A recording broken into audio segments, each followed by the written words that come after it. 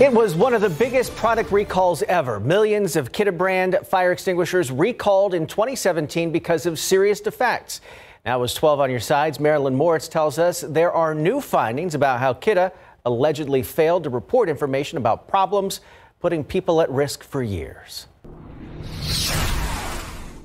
It's a brand name synonymous with fire safety, but a Consumer Reports investigation found reports of serious problems with Kidde brand fire extinguishers. We sifted through years of lawsuits and publicly reported complaints and found allegations that Kidde knew of the problem with its fire extinguishers for years before they finally issued a recall in 2015 and again in 2017. Last month, a federal judge fined Kidde $12 million, settling allegations that the company knowingly misled the government about the extent and scope of problems with some products. Kidde did not admit to violating the law as part of the settlement. A spokesperson said, quote, Kidde is committed to ensuring our products are safe and dependable, especially those related to life safety, such as fire extinguishers.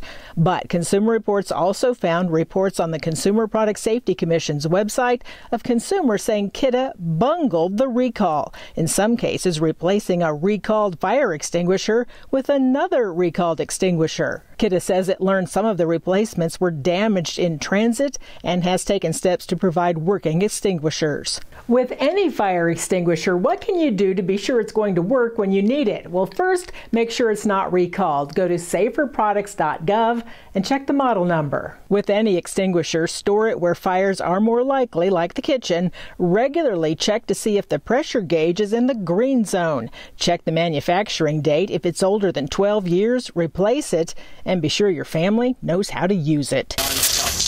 Marilyn Moritz, KSAT 12 News.